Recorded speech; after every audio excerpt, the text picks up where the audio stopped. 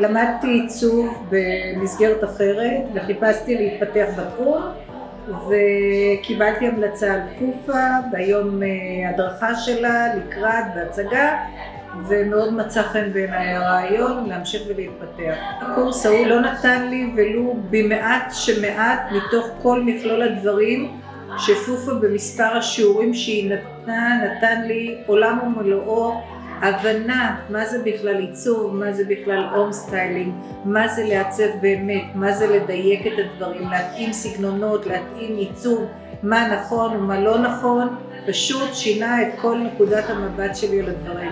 היום אני מעיזה יותר, יודעת לשלב את הצבעים, יש שיטה מאוד מאוד מובנית. כל משפט וכל שיעור יצאנו עם איזשהו אה, מין כמו לוגו אישי כזה, שאני הולכת לתכנן משהו, אני רואה את המשפטים האלה מול העיניים שלי וזה מה שמנחה אותי בעיצוב של חלל שאני מגיעה אליו. היום אני בהחלט מרגישה שאני יכולה לצאת לעבוד בתחום, כבר התחלתי לפרסם כדי לקבל לקוחות, זה משהו עצום שפופה נתנה. וכל מה שאני רק אה, אראה, אני אמליץ לו ללכת ללמוד אצל פופה. זה לימודים בצורה אחרת וברמה אחרת.